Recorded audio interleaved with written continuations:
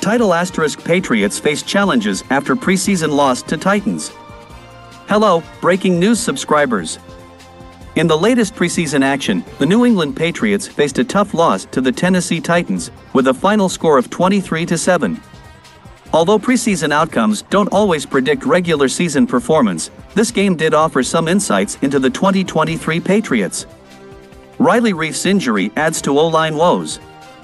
One concerning development was the injury to right guard Riley Reiff, who left the game in the first half.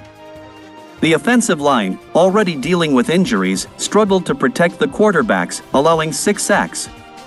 Reiff's injury raises questions about the unit's stability going forward. Quarterback shuffle raises eyebrows. The quarterback rotation was intriguing. Backup Bailey Zappe started but was replaced by third stringer Trace McSorley for a brief period. This move left fans wondering about the team's quarterback strategy.